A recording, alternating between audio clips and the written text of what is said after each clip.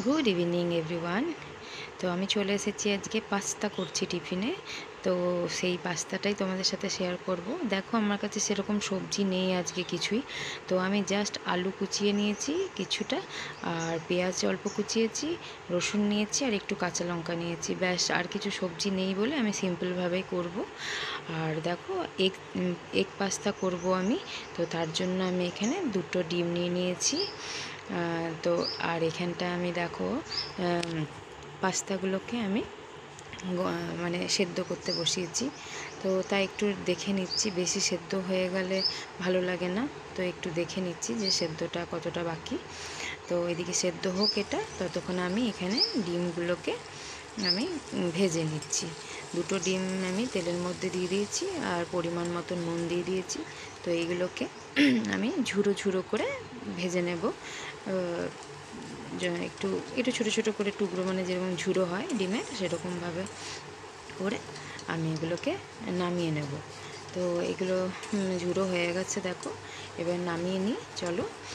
তো দেখো আমার নামানো হয়ে গেছে, এবার আমি কড়াইয়ের মধ্যে একটু পরিমাণ মতন তেল দিয়ে দেব। তো তেলটা গরম হয়ে গেলে আমি এর মধ্যে দেব এই রসুন কুচি আর লঙ্কা কুচি, এটা দেবো।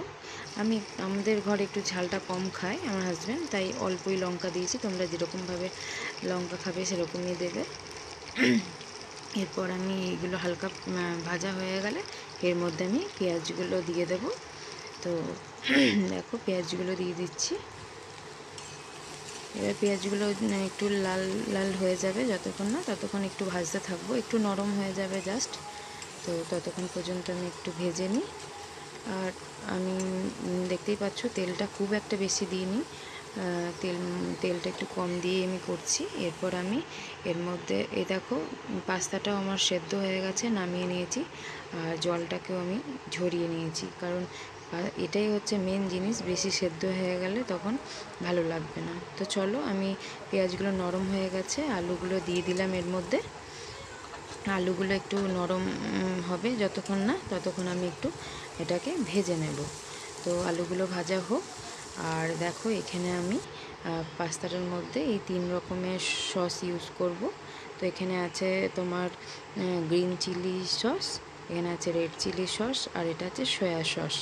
তো এগুলো আমার কেনা ছিল বলে আমি এটা ইউজ করব। আর না থাকলে সেরকম দিই না আমি।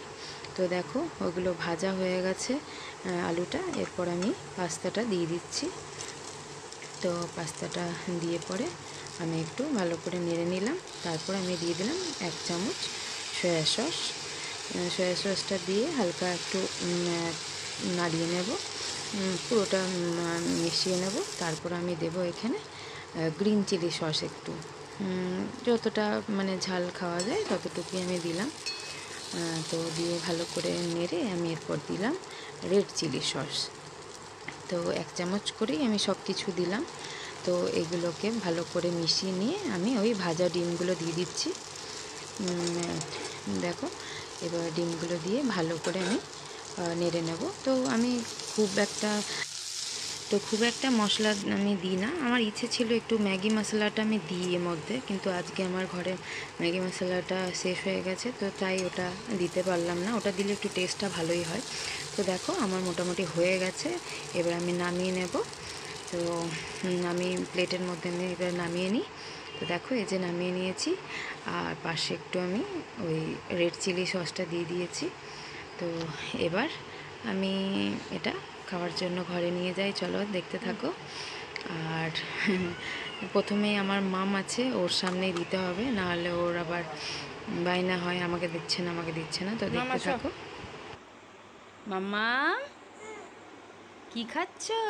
কি পাতা। কি খাচ্ছ? পাতা। না মা বলো পাস্তা। ও লিব বলি তুমি নিজে নিজে খেতে পাচ্ছ মা? ঝাল না? ঝাল না?